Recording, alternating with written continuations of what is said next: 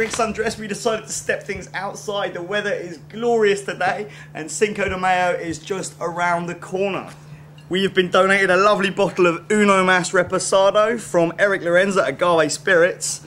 We've infused that with uh, blackberries this time around. So if you want to uh, recap on um, infusing, feel free to go back to episode one when we did the uh, lovely vodka Collins with raspberries. We're going to show you how to make a ginger beer, which is going to go into this uh, lovely cocktail. So we got our blender over here, our lovely favorite, our favorite bar tool, and we've got some ginger that we've peeled, uh, but we've also chopped it up nice and fine so we don't destroy the blender with a bit of luck, hopefully. So we'd say that's about half a pound of ginger in there. And we're gonna put in about an ounce of bitters into our ginger beer. Cup of sugar here. That's a whole cup in there as well. And we're gonna add some water, just so we've got something to make. We're essentially making a, a, a ginger puree here.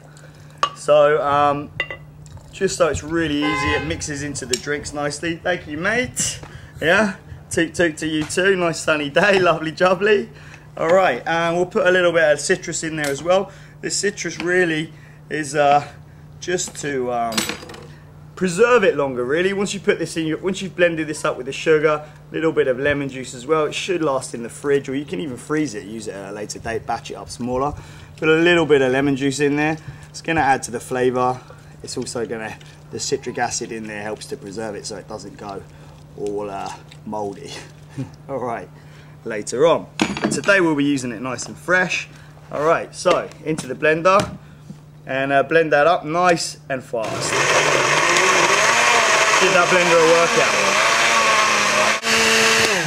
All right, okie dokie. So we've blended that up beautifully. Oh wow, bitters really work well with the um, with the ginger and the lemon to give us a nice sweet lovely little basically ginger puree that we're going to mix with uh, with a citrus soda.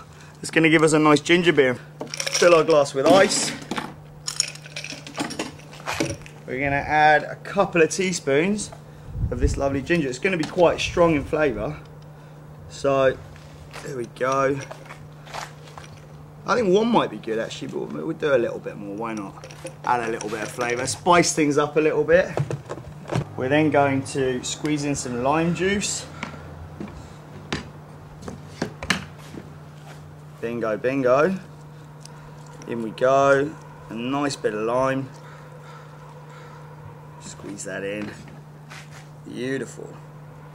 Alright, that's just going to combat the sugar that we've already put into the ginger beer and that we're going to add with the citrus soda. Yay. There we go top that up. So essentially what we've got here, we've got a really, really tasty ginger beer. Nice and citrusy. And what we're gonna do, we're gonna try very carefully just to float this beautiful blackberry tequila right on top. The cameraman's gonna love this one. I know he's a big tequila fan. All right. I knew you'd do that. I knew you'd do that. And I was like, please don't do that.